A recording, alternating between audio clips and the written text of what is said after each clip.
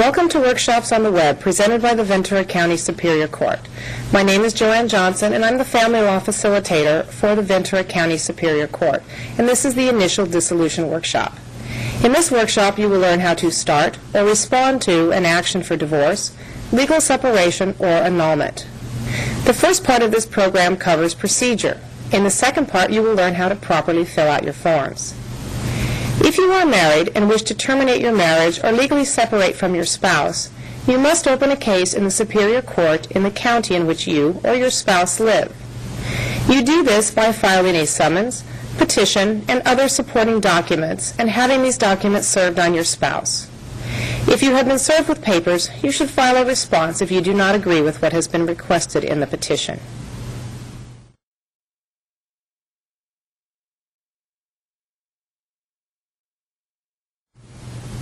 First step in starting your case is to decide what type of case to file. If you want to be divorced, you will file a dissolution of marriage.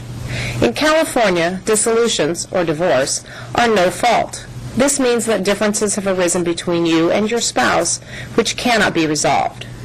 If you and your spouse are working well together, or your spouse does not respond, the entire process can be completed without going to court at all. At the end, you will receive a final judgment of dissolution of marriage.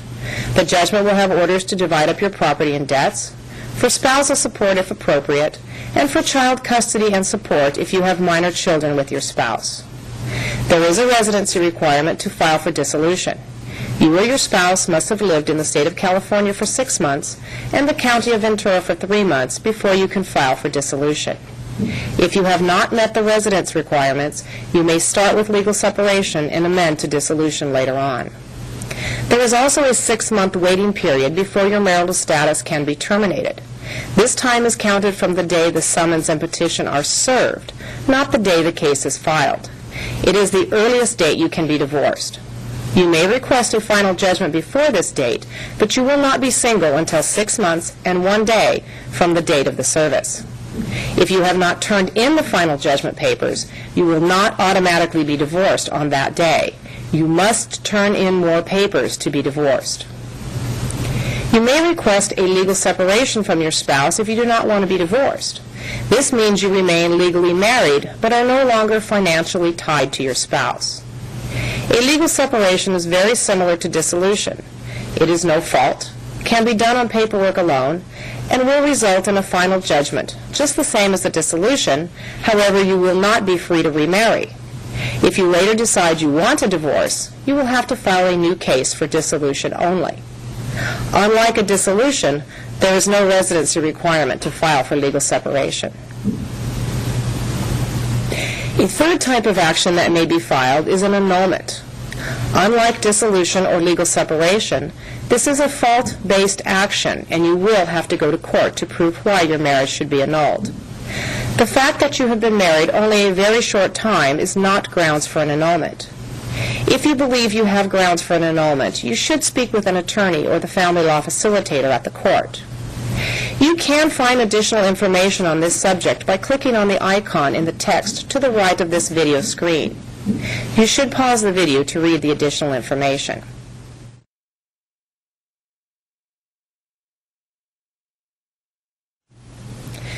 Person starting the case is the petitioner. The petitioner will complete the summons, petition, declaration for court assignment, and, if there are minor children of this marriage, a UCCJEA declaration. All of these forms will be discussed in detail later in the workshop. The petitioner will file the original and two copies of these forms with the clerk in the filing office. The clerk will stamp or conform the copies and return them to the petitioner. A filing fee must be paid at the time the documents are filed. The fees do change periodically, so check with the clerk before filing. If you receive public assistance or are low income, you may submit a fee waiver to have your fees waived at the time of filing. After filing, a conformed copy of the documents is served on the respondent along with the blank response. You do not need to serve the fee waiver. If the respondent lives in California, service must be done personally. This means that an adult, not the petitioner, must personally hand the papers to the respondent. The respondent does not have to sign or accept the papers. If the respondent will not take them, the server may drop them on the ground in front of the respondent. However, the server cannot leave them on the door, in a mailbox, or give them to another person. If you do not have a friend or family member who will serve, you may hire a process server or the sheriff. The server must complete a proof of service, which is then filed with the clerk. If the respondent does not live in the state, service may be by certified mail, return receipt requested, restricted delivery. The petitioner may not do the mailing.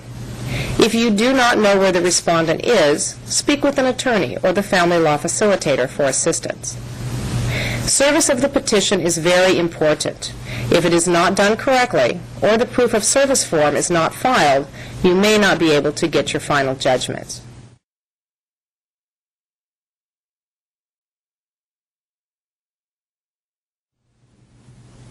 If you have been served, you are the respondent and may file a response to the petition.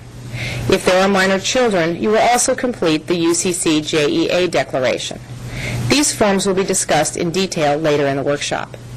If you do not agree with what is in the petition, you should serve and file the response within 30 days of being served. If 30 days pass, you can still file a response until the petitioner files a default against you. If you agree with what is in the petition, you do not need to file a response. The petitioner will be responsible for submitting all the remaining paperwork to complete the case.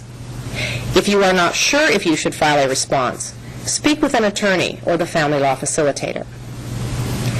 The response is served before it is filed. Service can be personally or by regular first-class mail. A copy of the response is mailed or given to the petitioner by an adult, not the respondent. The server completes a proof of service, which is then filed along with the original response and a copy of both. Filing fees must be paid at the time the documents are filed. The fees do change periodically, so check with the clerk before filing. If you receive public assistance or are low income, you may submit a fee waiver to have your fees waived at the time of filing.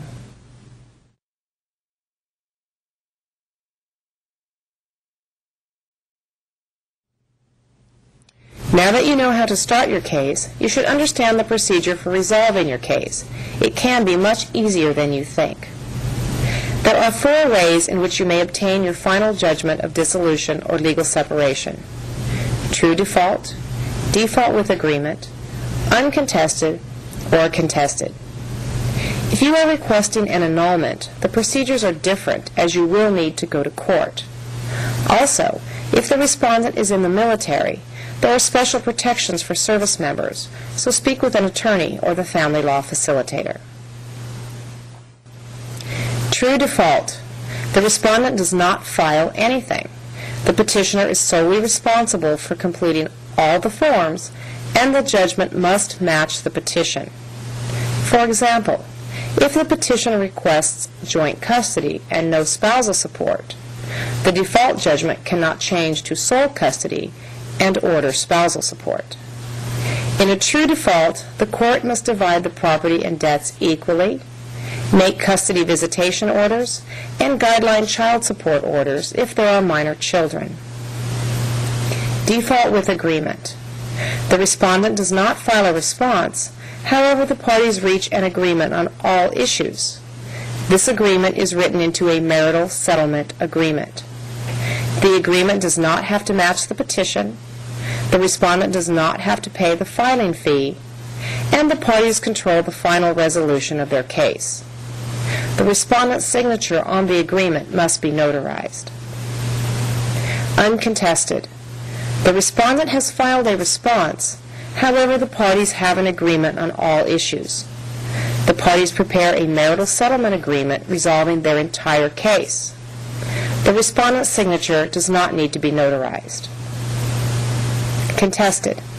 The respondent has filed a response, but the parties do not have an agreement. The court will decide all unresolved issues at trial. The family law facilitator can help you request a trial date. In all of the cases, except the true default, both parties must complete and serve a declaration of disclosure before the final judgment can be entered. In a true default, only the petitioner serves the declaration of disclosure. These forms can be obtained from the court's website, the clerk's office, or the family law facilitator. This includes a fill-in-the-blank marital settlement agreement. There are additional workshops on these topics.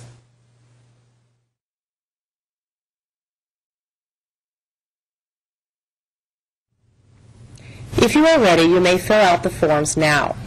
All the forms for the petitioner and respondent are discussed here. You may fill out forms during the presentation.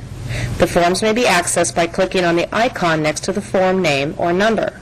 If your computer has a capability, you may fill out the forms right on the screen, or you may print out the forms and fill them out by hand. You will not be able to save your forms from this program, and you may need to pause the video as you fill out the forms. Forms packets may also be obtained from the clerk or the family law facilitator.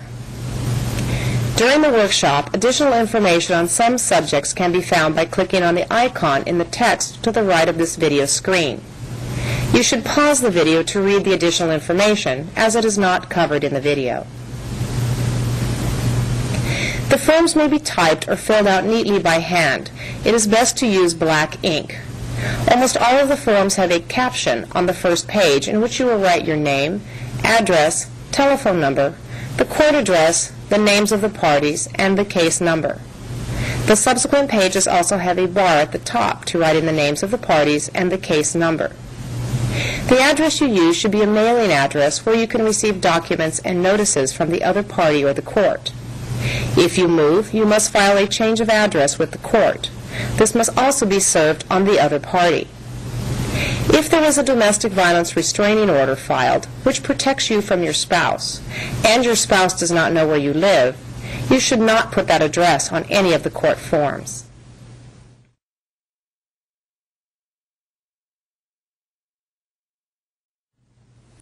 Declaration for Court Assignment, VN 027. This form is completed by the petitioner only.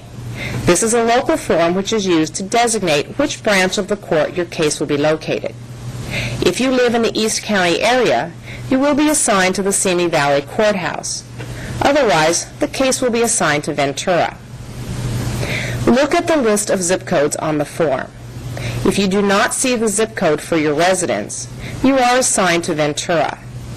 If you do see your zip code, check the box for that zip code and check the East County boxes. Complete the caption on the form. Check the courthouse to which you are assigned. Check the family law box on the list of actions. At the bottom of the form, you need to print your name and address, date, and sign. This address must be a residence that allows you to file in Ventura County. It does not have to be your mailing address. This may also be your spouse's address if he or she lives in Ventura County, but you do not.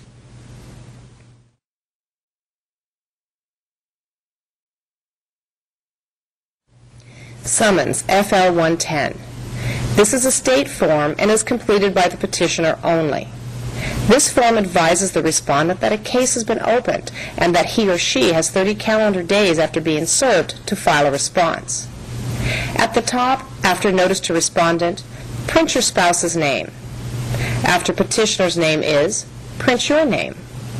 At number one on the bottom of the form, write in the court's address. At number two, write in your name, address, and telephone number. Do not date the form. Read the back of the form before you file it.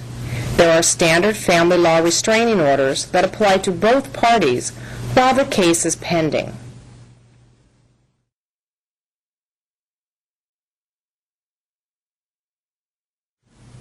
Petition FL 100 or Response FL 120. These are state forms and are almost identical, so they will be discussed together. These forms tell the court and the other party what the issues are in your case. It is important that they be filled out correctly. Complete the caption on the form. Check the box next to the type of case you are requesting, dissolution, legal separation, or annulment. If you are filling out a response, you do not have to agree to any of the actions, and you may leave those boxes blank. Complete the remainder of the form item by item. The response does not have to match the petition. Number one, residence. Check the box if you or your spouse have lived in the state for six months and the county for three months. This only applies to dissolutions. Number two, statistical facts.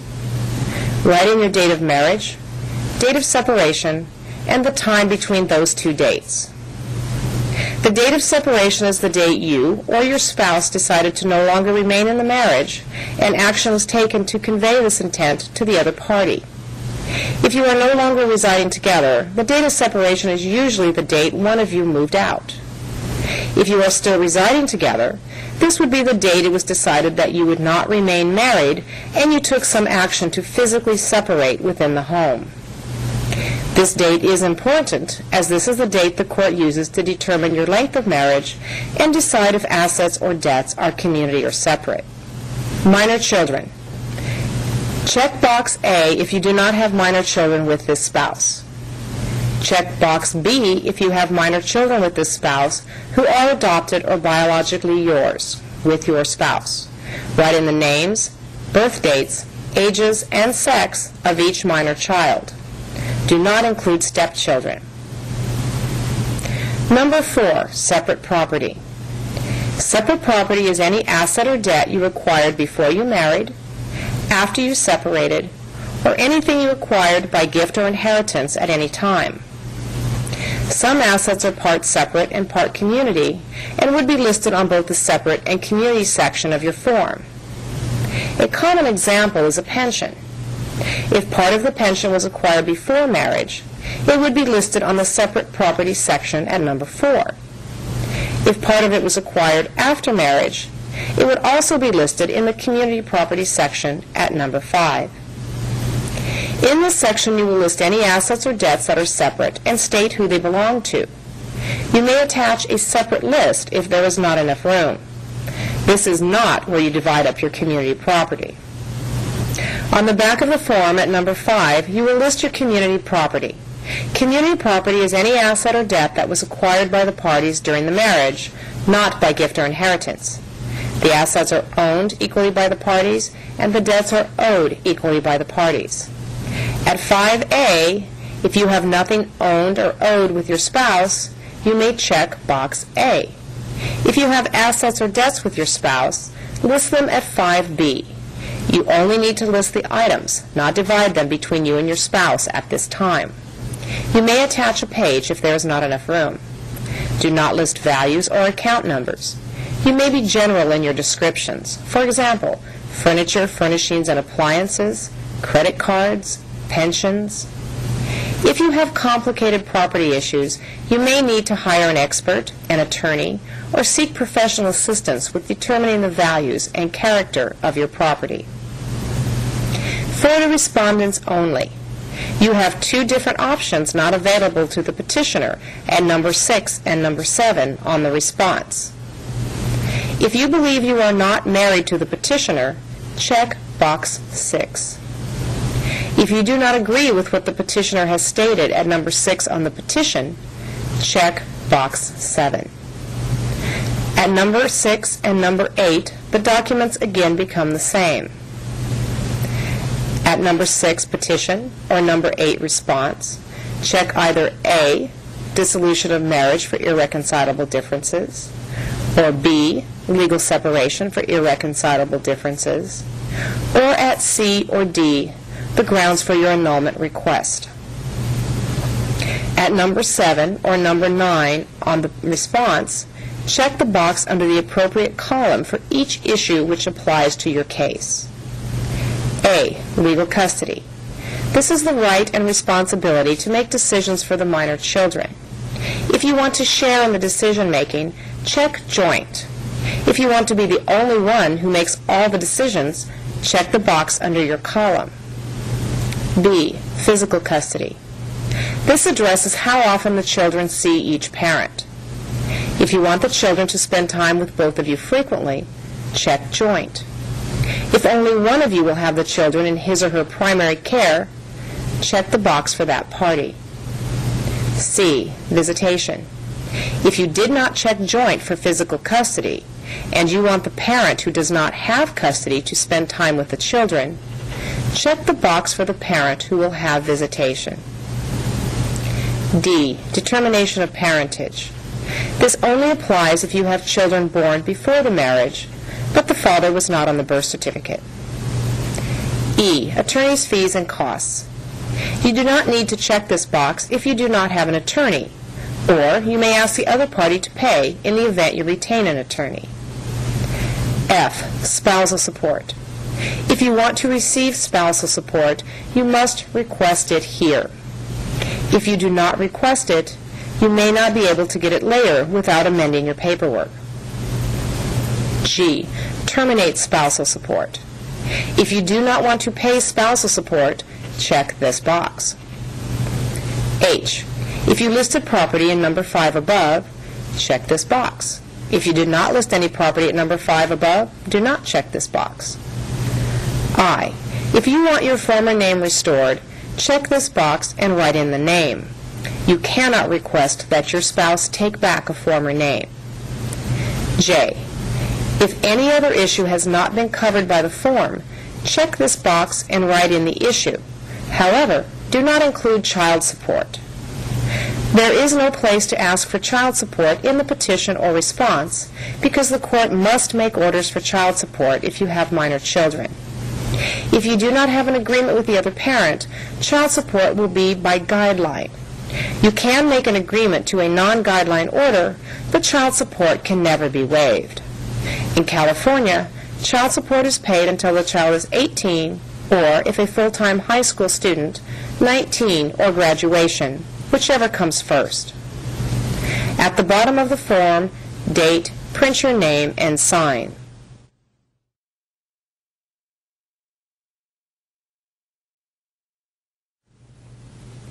If you have minor children with your spouse, you must also complete a Uniform Child Custody and Jurisdiction Declaration, FL 105. The purpose of this form is to determine if the court has jurisdiction, the power, to make orders regarding your children.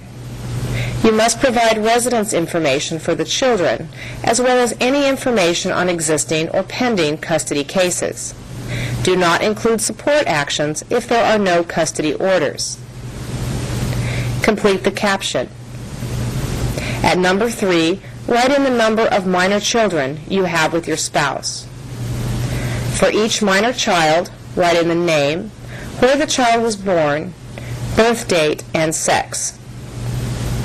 You must then list where the child resides now, how long, and with whom. You must cover the last five years or birth, whichever is less. If you have more than one child, and all the children have resided in the same place, you can state that the residence information is the same for the additional children. If you have more than two children, you will need to attach a page listing the additional children and their information. On the back of the form, at number 4 and number 5, provide information about any existing custody orders or any pending custody cases. At number six, provide information on any restraining orders in effect. At number seven, if someone other than you or your spouse has custody of the children, provide that information here. Date, print your name, and sign.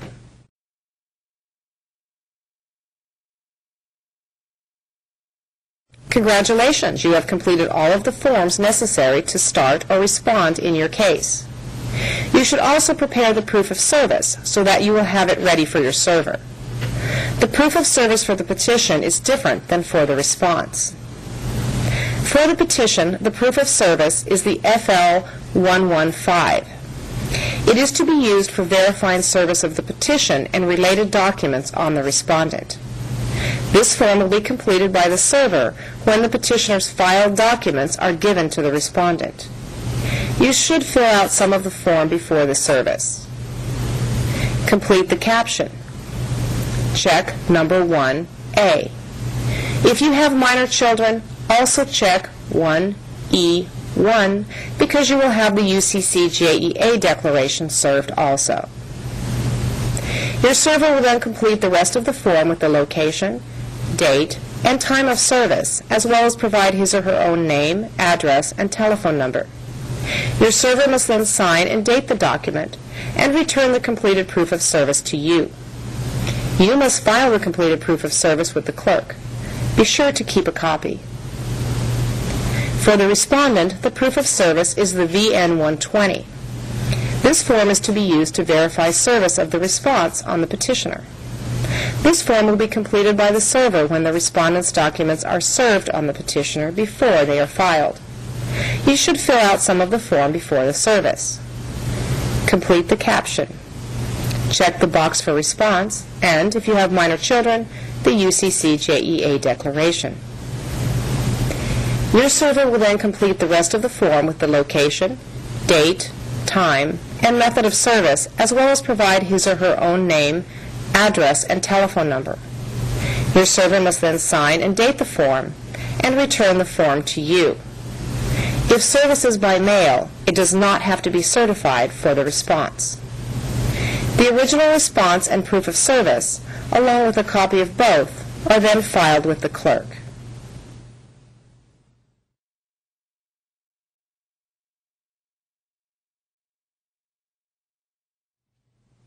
This is only the first step in your case.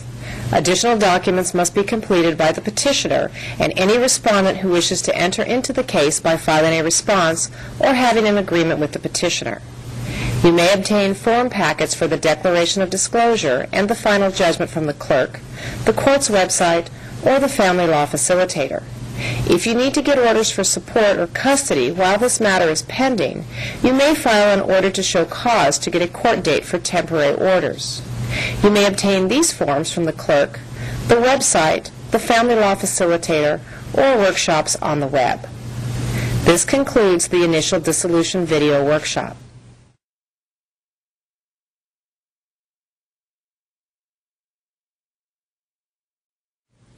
This workshop was designed to provide basic information to help you help yourself if you are not represented by an attorney. It is not intended to replace in-depth legal advice specific to your situation, which can only be obtained from an attorney.